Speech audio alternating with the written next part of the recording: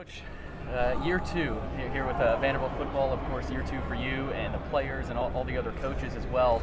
Um, what have been some of the main differences for, for you as a coach, but also kind of recognizing uh, some maturity and some growth from, from your players in the program?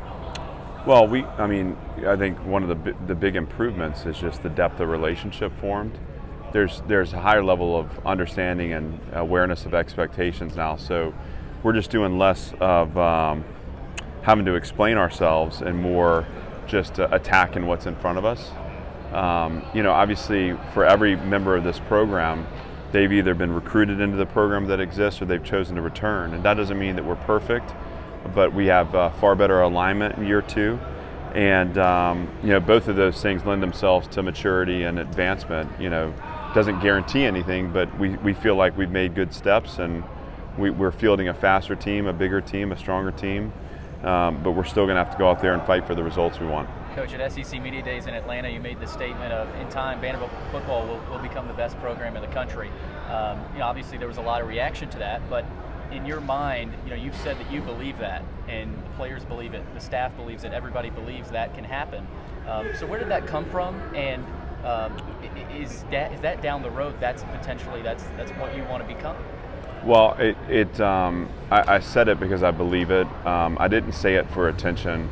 I, I, knew that you know some people wouldn't know how to, to take that, but for me, I mean, um, like if you cut me open and I bled out, I would bleed that out. And I don't believe in being a part of anything that's not aspiring to be the the best, the the, standard, the level best. Um, that's just kind of who I am and I think people that don't understand what I said, they, they just don't know me very well as a person.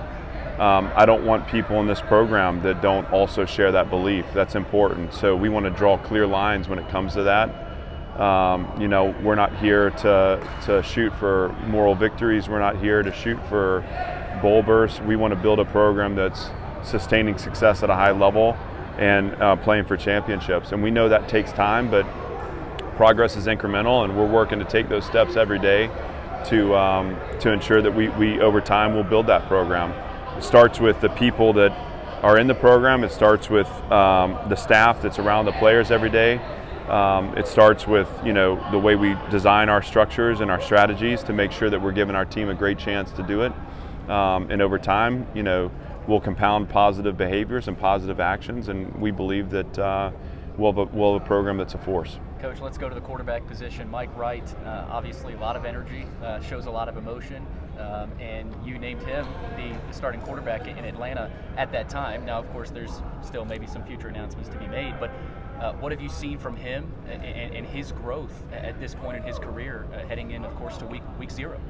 Well, he's he's established himself as a playmaker. I thought he did that last season when he had the opportunity with the ball in his hand. He was dynamic, and um, you know he, he he can change the game running. I think that we've seen him grow into a more complete quarterback. Uh, it's important because, you know, um, we've got, you know, 10 other guys on the field that he needs to strengthen in his performance. Um, we got a receiver group that's coming on and we feel like has a chance to, to um, you know, to, to have some playmakers in that unit as well. And so Mike's responsible for distributing the ball around to making sure he's making the right reads. Um, I've seen growth and maturity in that respect. Um, I also have seen growth and maturity as a leader in his leadership, which has been exciting, which is obviously important. Um, but you know, I, I, I got to also say that um, you know Ken Seals has answered the bell, and AJ Swann keeps coming on as a as a freshman, and so. Um, you know we're gonna you know obviously go into Hawaii with a with an airtight plan, and we feel like Mike gives us a great chance um, at the start of the season. But we're we're also working through the process of um, you know making sure there there's sustained competition in that room and that you know uh, whoever is is out there taking the snaps has to earn it every single day. Coach, I was talking to Mike Scholl, your SID, uh, during practice. I said, what a what a fun way to start the season, uh, almost like a bowl trip uh, at Hawaii. You guys will leave on Sunday. Um, so obviously a long trip. I heard it was a nine-hour flight uh, ahead of you guys. Uh, but what what are you excited about for that trip? But also, what are some of the challenges that, that go along with that? Well, I'm excited to to be heading into game week. Um, you know, I would I, I, listen. I I prefer to go to Hawaii on vacation. This is this is going to be more stressful than fun for me, but that, that's the nature of my job. Um, I do think that it'll provide us an opportunity to bond as a team, to get um, out of town and to do something that, um, you know, where we, we have the chance to, to spend time away from football and immersed in a different culture and a different environment. Um, and I'm looking forward to that. Uh, but, you know, I think the when, when you start talking about the outcome of the game, I think the trip is the first opponent. You know, we have to we have to handle the trip out there very well. We have to handle the distractions that we'll be immersed in.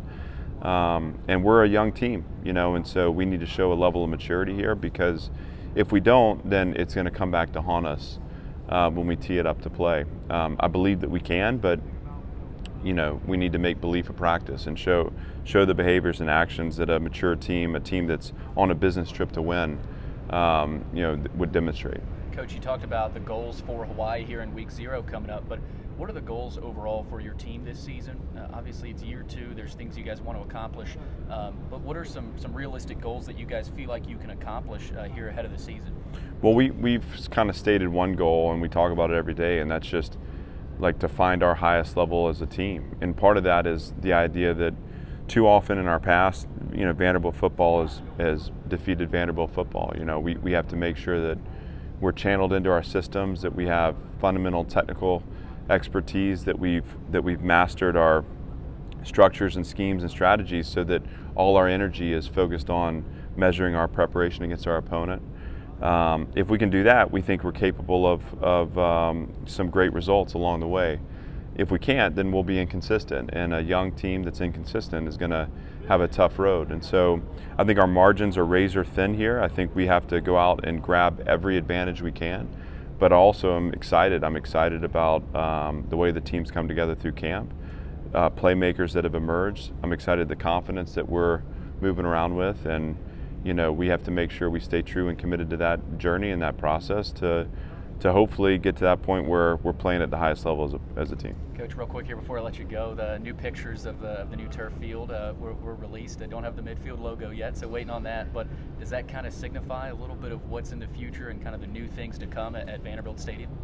Yeah, I mean, I, I, listen. You know, I think anything we can do to just polish up and to, and to show how important the small details are to us here, whether that's you know getting the new logo out, whether that's getting the new logo around our practice facility, whether that's you know um, getting a, a, you know fresh turf in and, and something that's going to hopefully uh, glow on game day and and um, again represent a first class program at a first class university.